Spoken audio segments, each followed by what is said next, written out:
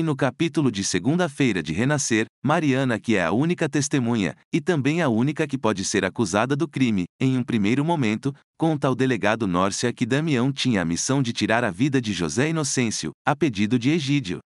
Enquanto isso, Zé Augusto tenta amenizar o sofrimento do pai, mas o fazendeiro está revoltado que além de não morrer, e não se encontrar com Santinha, vai ficar aleijado.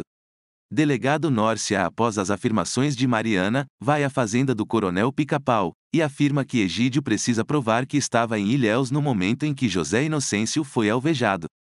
Damião garante a José Bento e João Pedro que foi Egídio quem atirou em José Inocêncio, tentando aguçar a vingança dos filhos contra o coronel, já que ele mesmo não pode matar o vilão, porque prometeu para Eliana.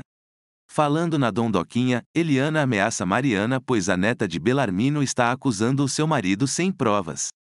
E Zé Bentinho avisa a Aurora que José Inocêncio sofreu um atentado e foi levado para um hospital em Ilhéus. Na mesma hora ela pega um avião para a Bahia, e ao chegar no hospital, José Inocêncio não gosta da presença de Aurora e pede que ela vá embora, e se possível nunca mais aparecer. Em meio a toda a confusão, enfim uma notícia de alento, Lilith enfim revela a Norberto que é filha de Jacutinga, o dono do bar quase cai para trás. E assim termina o capítulo, para receber os resumos, inscreva-se no canal.